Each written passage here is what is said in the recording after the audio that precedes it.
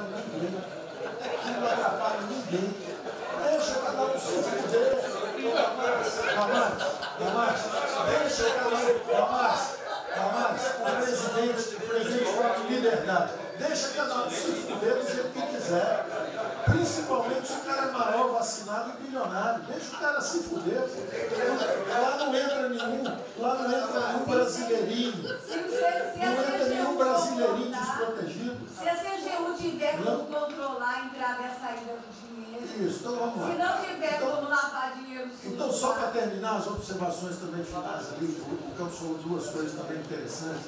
Então, é, o, Campos falou duas coisas interessantes ali. Uma é o seguinte, o, o estrangeiro para vir para fazer investimento, eu tive com isso, eu recebi o embaixador, já reportei isso para o presidente, eu recebi o embaixador dos Estados Unidos e ele veio conversar conosco. E a mensagem maior dele era uma só. Assim, olha, nós queremos um bom ambiente de negócio. Nós vamos colocar centenas de milhões de dólares. O mundo inteiro quer investir no Brasil. Agora nós precisamos de um bom ambiente de negócio. Simplificação de impostos, segurança jurídica, coisa desse tipo. Né? Então, o secretário do Comércio Americano, que é o Wilbur Ross, o cara me disse o seguinte, eu só tenho um conselho para vocês. Vamos aderir ao GPE, é o General Purchasing Agreement, que é o seguinte, é um acordo, nós com a entrada na OECD, nós assinamos esse acordo, e esse acordo diz o seguinte, não pode haver nenhuma compra governamental sem transparência. Acabou.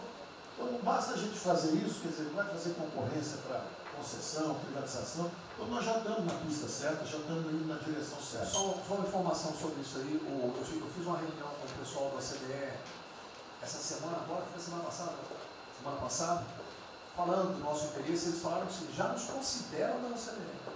Sim, Tá? Então, os, os ministérios, estou falando isso porque vários ministérios têm uma pauta a cumprir. Vamos continuar nisso porque a, a- vamos dizer, a impressão foi excepcional. Isso, é só, só, um- só um dado aqui do OCDE, só um dado aqui, é rapidamente do OCDE, Presidente Lula, então, seu apoio do Não, o embaixador disse isso. O embaixador disse, nós não podemos perder a oportunidade do presidente estar tão próximo aqui. ó. Os nossos dois presidentes estão próximos. Nós não podemos perder essa O oportunidade. presidente da OCDE disse que realmente o Trump- a- a- os Estados Unidos, que era, vamos dizer assim, uma, tinha uma certa objeção, agora já está favorável. Isso é real. Ministro, é só um dado, a OCDE, 90% dos países que hoje integram a OCDE já contam com os resorts integrados. Os outros 10% são muçulmanos. Isso mesmo. 88% tem um ensino domiciliar. Então a gente vai entrar com a MD hoje lá, tá? Vamos escolher. Vamos tudo. Ah, obrigada. Sim, senhor. uma nova ordem para o do coronavírus, muitos países eh, vão eh, colocar regras para ter estoque novamente. Eu acho que não é o nosso caso. Nós temos que ter acesso ao mercado, né? Eh, mas nós precisamos incentivar o turismo. É o único produto que o Brasil não é autossuficiente. O resto, se amanhã quiser fechar, temos 2 milhões. Nós temos 2 milhões, certamente.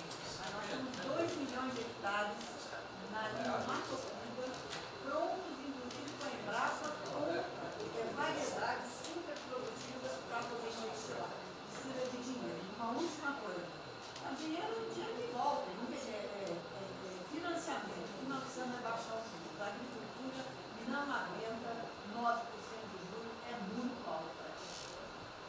Sobre o Brasil, sobre o Brasil, Não fala nada, não. o Banco do Brasil ainda está tudo agora. O Banco Brasil não está tudo em cobra, não é privado nem público. Então, se for apertar o Rubem, coitado, ele é super liberal. Mas se apertar ele e falar, bota o juro baixo, eu não posso, senão a turma, os privados, meus minoritários, me apertam. Aí você fala assim, bota o juro alto, eu não posso, porque senão o governo me aperta. Banco Brasil é um caso pronto de privatização. É um caso pronto, e a gente não está dando espaço. O senhor já notou que o BNDE e, o, e, o, e a Caixa, que são nossos públicos, a gente faz o que a gente quer. Vezes, a gente não consegue fazer nada. E tem um liberal lá. Então tem que vender essa porra logo. Apesar de todo, apesar de todo o aumento de risco que passou a haver no, no sistema bancário, o Banco Brasil está expandindo bastante seus empréstimos e a agricultura a ministra Tereza Cristina testemunha aqui de que o apoio está sendo muito grande e nós estamos numa situação confortável, ministro, porque, ah, primeiro porque, em termos de liquidez, ah, o público vê o Banco do Brasil como um porto seguro. Então, nós não estamos tendo problemas que outros bancos estão tendo, de, preocupação com a liquidez do banco, com a rigidez do banco. Ah, e na nossa, na nossa formação de de resultado, as pessoas físicas não têm um papel preponderante dentro do do Brasil. E nós temos a felicidade, nesse momento, de contar com folhas de pagamento de, de empresas públicas, das Forças Armadas, né, que, que, em termos relativos, estão numa situação mais segura do que o cidadão comum, que, que não participa de, de, de empresas públicas. Mas só confessa o seu sonho. Confessa o sonho. Confessa o seu sonho. Em relação à privatização, Foi 23 a confessa, agora em relação à privatização, eu acho que fica claro que com o BNDES cuidando do desenvolvimento, com a Caixa cuidando do fim do, da área social, o Banco do Brasil estaria pronto para um programa de privatização. Né? Mas isso a gente pode fazer. só se discute, só se fala isso em 23. A gente pode fazer um dia um seminário aí, eu posso escrever o Banco do Brasil no passado ah, teve muitos privilégios pelo fato de ser público. né? Ah, as folhas de pagamento vinham naturalmente do Banco do Brasil para a Caixa. A administração, do, a administração dos depósitos judiciais eram sempre do Banco do Brasil e da Caixa. Hoje isso tudo é processo de concorrência. Nós temos que pagar muito caro por esses antigos privilégios que não são mais privilégios. E fica só o lado ruim de ser estatal, pesando no Banco do Brasil. Porque a gente não tem a mesma facilidade de contratação, a gente não tem a mesma facilidade de demissão de maus funcionários, e, e, vai, vai por diante. Quer dizer, tudo tem que submeter ao governo, tem o Tribunal de Contas cavando tudo. Né? O Tribunal de Contas é, hoje em dia é, um, é uma usina de terror. Se, a gente faz, se a gente faz alguma coisa, está arriscado dentro da cadeia. Se não faz, é, é processado por inação. Né? Você não tomou as providências que tinha que ter tomado. Virou, virou um terror isso.